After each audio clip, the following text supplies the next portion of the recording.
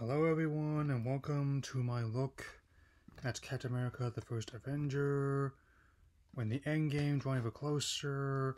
This is one of my favorite films so it's phase one of Marvel Studios and the last one I haven't reviewed yet, so let's open it up. Open on the Arctic in the present day with some people excavating not only an old plane but also familiar and spinning the outfit frozen in ice. Our proper opening is 1942 where a fireman named Johann Schmidt, played by Hugo Weaving, an artifact known as the Tesseract in the city of Norway. He finds out a carving in the North Tree of Wisdom and Fate. I just saw this movie the same summer as Thor. I was trying to determine what direction I would take things, but I'm glad I'm finally reviewing it. I also definitely like how the connections, with benefit of hindsight, that I know more about. Also, Hugo Weaving is once again playing a character that delights humanity. See also the Smiths the Matrix franchise, Arnim Earth Saga, and the, my, and the live action Megatron. Then cut to Brooklyn, with Steve Rogers played Chris Evans, a 90 pound weakling who has unsuccessfully tried to written this more than once. His asthma not helping matters. He's willing to stand up to bullies even before he gets his powers. It also turns out they digitally digitally buff Evans and the Slender Rogers. Also, in Willis as yet another comic book role he's head of Johnny Storm, Lucas the 2007 Casey Jones. That night, Rogers' friend James Bucky Barnes, played Sebastian Stan, takes him to World's Fair where they meet Howard Stark, played by Dominic Cooper. Rogers tries to enlist again and gets recruited to be part of a new army of super soldiers under Dr. Abraham Erskine, played by Stanley Tucci. I must say, I really like the whole retro-futuristic style of smooth visuals. Reminds me of Joe Johnston's previous one, The Rocketeer, which I find very underrated. Hmm. We then cut to a secret lab where here Dr. Arnim Zola, uh, alongside Schmidt, has harnessed the power of the Tesseract. He longs to with the executions on Path of Conquest. While Chester Phillips, played by Tommy Lee Jones, doubtful about Rogers, as with the other recruits, Erskine believes he's made a choice, as is Agent Peggy Carter, played by Hayley Atwell. Erskine also tells Rogers that, uh, that evening he's not the first candidate he's tried either. He mentions that the serum emphasizes choice whoever takes it, stating that good becomes great, bad becomes worse. There's a contrast actors also point out with Evans stating that Rogers more, uh, wants to save everyone he can, but Weaving observe that Schmidt is only out for himself. I mean, it's a common way to do this, much like the first film, they, for the hero and the villain to get powers from the same source. Underneath an old antique shop, Rogers is about to undergo the experiments that will make him Captain America. He's given with a serum that turns him from 94 weekly into a very, very powered Adonis. As it turns out, the scene of Carter reaching out to touch Rogers was the first time Atwell saw like this on the set and wasn't in the script supervised on the spot.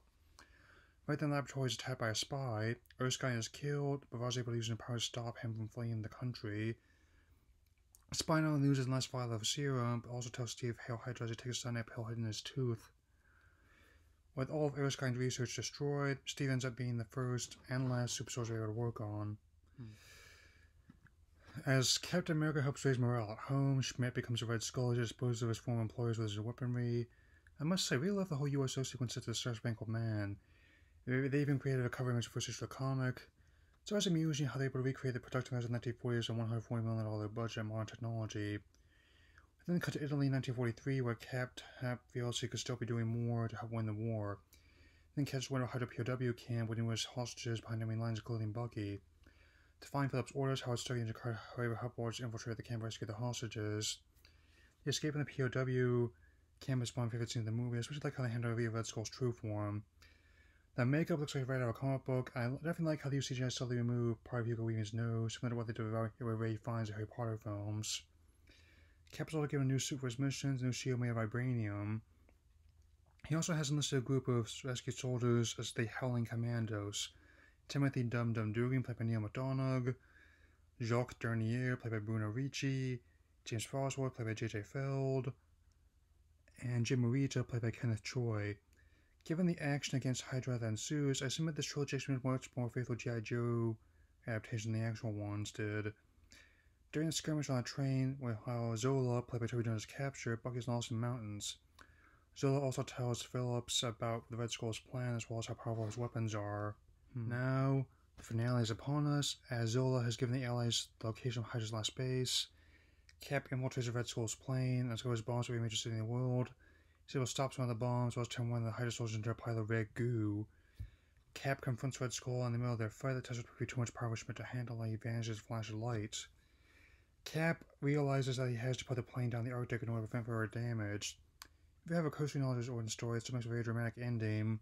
Especially the captain reassure everything things will be alright even when he knows they won't. So a closing victory for the Allies coming at great cost, and Cap waking in the present day. So witnesses world around him after being greeted by Nick Fury, playing Mayhem Samuel Jackson. He realizes all the ones he cared about are dead, or told to remember him saying, I had a date. As the last one to leave to the Avengers, this film is one of my favorite single hero movies of Phase 1. The movie's great taking Captain America's origin story and a fantastic pulp action adventure of Joe Johnston's Rocketeer.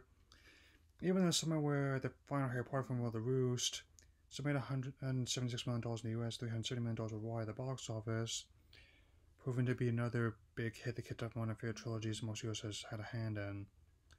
I've been wanting to review this movie for ages, but then with Emily coming soon, I'm glad I'm finally able to. My final review is a half star to four. I think I might take a look at the Ang Lee Hulk film and 1990 TV Captain America has some bonuses, now that I've finally done all the most movies I haven't yet. Also still working on my potential aspect of the X-Men movies to get ready for Dark Phoenix and New Mutants. That's all for now. Later.